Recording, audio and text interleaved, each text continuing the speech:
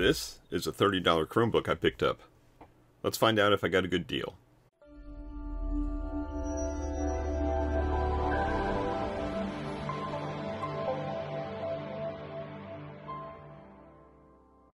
Hey everybody, it's Chris from Family Geekery, and what we got here today is a Chromebook that I picked up at a pawn shop, and I like to stop by pawn shops and see what they've got in stock, and uh, see what they're giving away, and this was sitting up on a shelf, and it had a sticker on it that said $30, parts only, and I asked the guy, hey, what does that mean, parts only? He said something's not working on it, so I said, okay, let me go ahead and check it out for 30 bucks, and it came with a charger, so worst case scenario, it's a decent Samsung 30 watt USB-C charger. So at least I got something for 30 bucks. But we're going to find out today what's wrong with it and uh, and see if it's worth more than the 30 bucks for me. So the first thing I obviously did was flip the thing over and look down here at the serial number and the, the model number and everything and googled that and it's a Samsung model XE520 QAB. So a quick little Google search later found that this is called the Samsung Chromebook Plus version 2. So the Chromebook Plus was like one of their first really high-end Chromebooks and this is the version 2 which has a little bit of differences to it. Uh, better processor but uh, you know maybe a, a different screen. So the specs on it are actually pretty good for a Chromebook and it should be because this was a $500 device when it was sold new and that was just a couple years ago, so it's not super old. Um, so it's it's got some decent specs. It's got a Celeron processor. It's got 4 gigs of RAM. It's got 32 gigs of eMMC. A lot of that's kind of standard, um, but the Celeron's a little bit nicer than maybe like a Snapdragon or something. So it's got a little bit of beef to it. It's got a pretty decent looking screen. You can see that it's missing a couple of little rubber feet. And I'm wondering, there is a little screw under each of these. I wonder if someone did try to take this thing apart at some point. So since they did half the work for me, I may go ahead and do the other half of the work and take the other two screws, or take all the screws out and take the lid off and see what's underneath there. Probably not going to be doing a lot of you know heavy work underneath the hood because there's not much you can do with these things. But at least we're going to see you know what's what's working, what's not, and find out if there's some kind of use that we can do with it. So after I Googled it and found out that it's a you know decent model, that it's worth something at least looking into, then the next thing obviously was to turn it on and boot it up and see what happens. And the screen looks great. It is a touch screen and it came with on the side down here a little stylus that pops out. So you, you know it's high quality when it's got a little stylus built into it. And what I've found out is this trackpad doesn't work. So that's the uh, the parts only. This thing is broken, part of it. The trackpad doesn't work. So I'm going to grab a mouse and see if I can get a mouse to work and test out the keyboard and everything. But so far it powers up. Um, screen looks good, just no mouse yet. So I got me a cheap little mouse here, USB, and looking at the ports on the left side here, We've got two USB-Cs, a, a uh, headphone jack, and then there's actually a micro SD reader in here that's got a micro SD card smashed in there. So I'm going to go ahead and try to remove that. And then on the right hand side here, we've got the volume control, the little stylus there, power button, and then a full-size USB-A. So that's handy, considering we're going to need that USB-A to test out this mouse. And hey, there we go. So we've got mouse. Let's go ahead and fire up Google and test the keyboard out.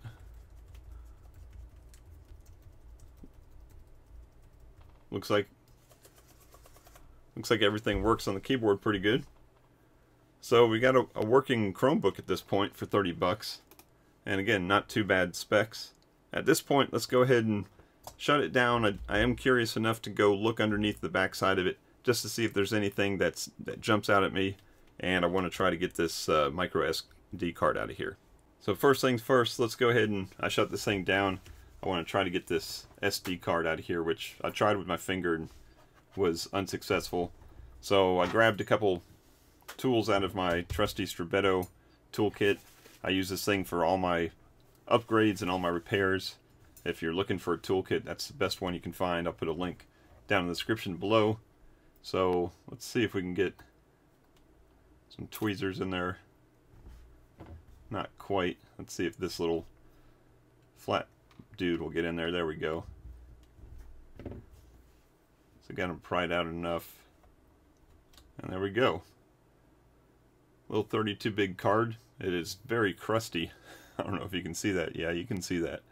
That's pretty crusty, so I don't know if something was spilled in there or someone just have booger fingers throwing it in there. But I'm probably not going to use that anymore. I will probably try to test out this port, see if it still works. But again, nice, uh, nice setup where it's got both USB-C ports here.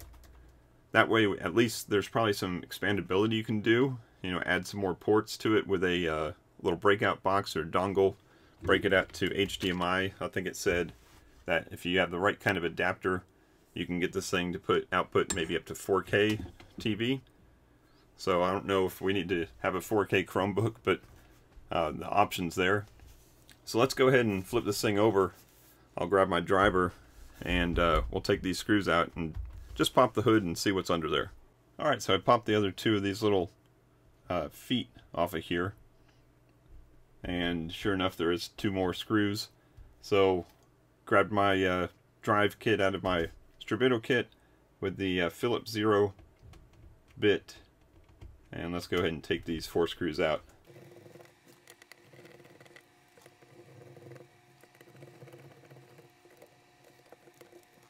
Alright, I got the four screws out. This one is still in there, but it's completely loosened. And I'm not sure if this thing's got some clips underneath it. Sounds like it.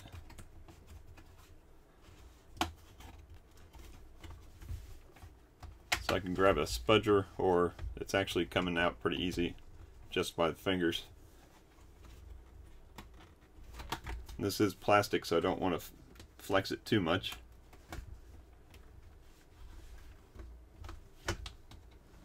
Alright, let's go ahead and do the right thing and grab the spudger. I got a couple different options in there, but I'm just going to try the straight one here. There we go.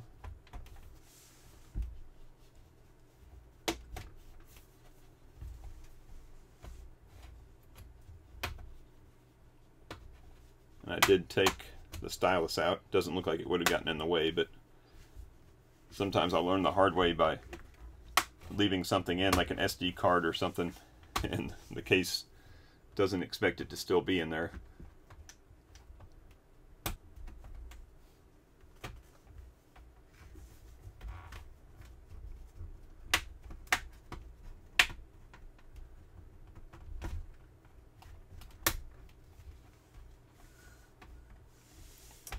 Go. Let's not lose these screws.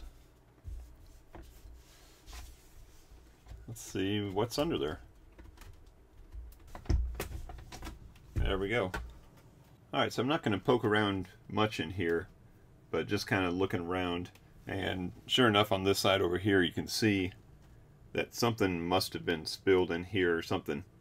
Because it's at the same side as the card reader. Yep, looks like it. So yeah, so over here where that card reader had all that gunk, it is kind of gunked up on the speaker and stuff.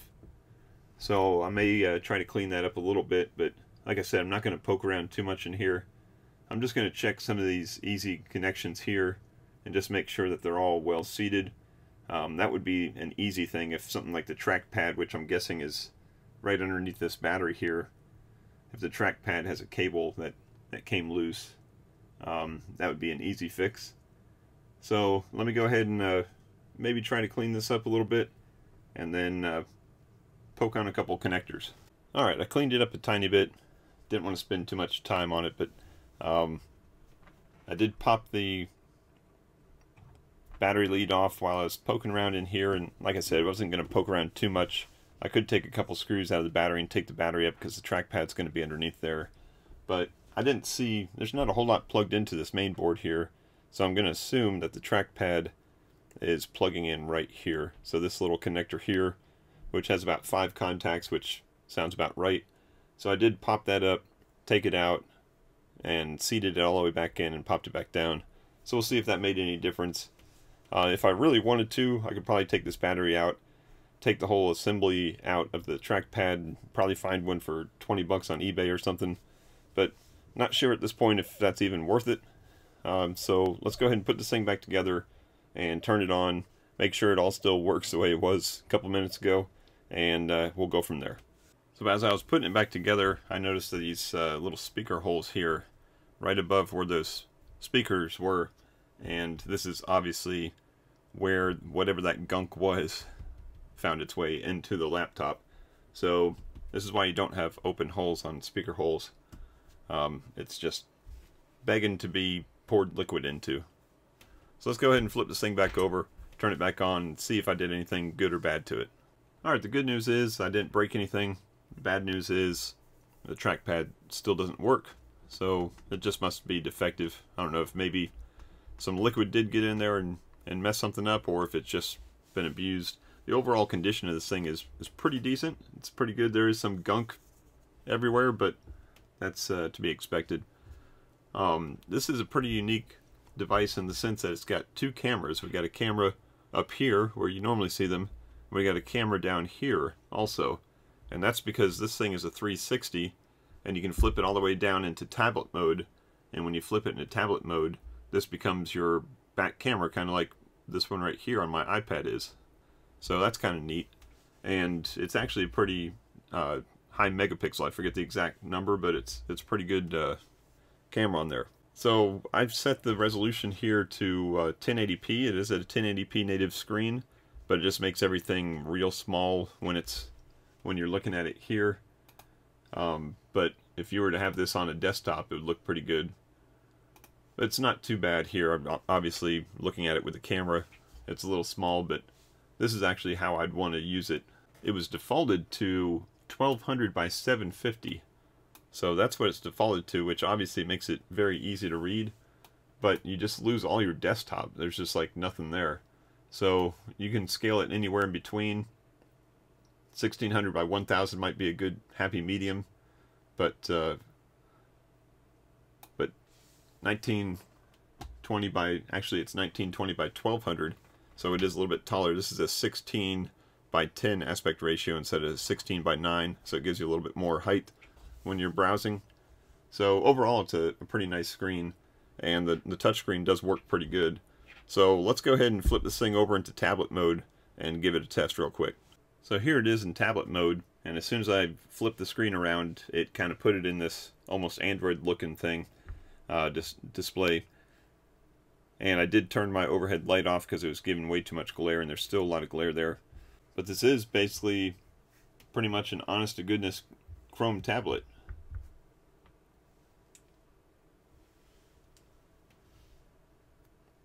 so it's definitely not as as lightweight as you know, a, a 12 inch tablet would be.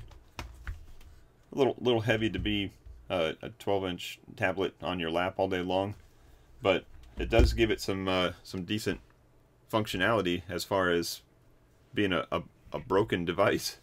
So for 30 bucks again, not a bad deal if you if you want to use something like this. And you get the Play Store, so you can actually go in and download Android apps right to this now that Chromebook supports the Play Store. So speaking of going to the App Store and finding an Android app, we got the uh, Marvel Unlimited app right here.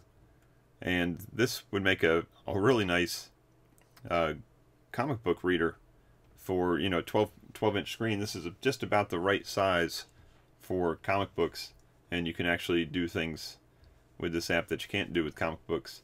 So for 30 bucks again, this if if you're used to using an iPad Pro to read your comics, then this thing would drive you absolutely crazy because performance-wise, it's nowhere near the same.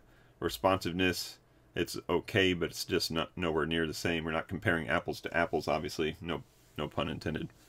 But but for 30 bucks, uh, if you wanted a device that you could just load up a bunch of comics on, take it on a flight, or just read it on the couch, then this is a, a great way to go. And again, sorry for the glare, but I figured go ahead and try out a game while I'm in the App Store. So we got it's actually playing pretty pretty decent. Again, if you're used to a high-end tablet, then this will feel a little awkward, a little little chunky. But for 30 bucks again, who cares? It's it's serving a purpose for sure. Alright, one last thing I wanted to try out. Hooked up a little gamepad, loaded up a classic game here. And let's play some RC Pro-Am. So there's several different ways to accomplish this on a Chromebook since it's running Android. And actually this is not even requiring Android. This is just running right out of the browser. And this is something that will make this thing a great little portable, bring it with you anywhere, plug in a, a gamepad. You can even use a Bluetooth gamepad and uh, just go to town. So this is going to be fun. This is a good little portable gaming station. Nothing wrong with that. So I think I've come to the conclusion that this is definitely worth 30 bucks. It's definitely not worth the 500 bucks that someone originally paid for it, but uh, that that was several years ago. That was I think 2019 was a date that I found uh, on the manufacturer uh, date of the battery. So it was probably a 2019 2020 model, and 500 bucks back then might have been a great machine, but uh, 30 bucks even better machine. So that's going to wrap it up for this little video. Let me know down in the comments below what other things I could try out with this Chromebook for 30 bucks. Tell me if there's something else you want me to try on it. I can shoot a video of it. But hopefully you guys got something out of this. If you enjoyed it, go ahead and give me that thumbs up. That helps out the algorithm. And if you want to see more crazy stuff like this, hit that subscribe button. But thank you as always for watching, and until next time, peace out and geek out.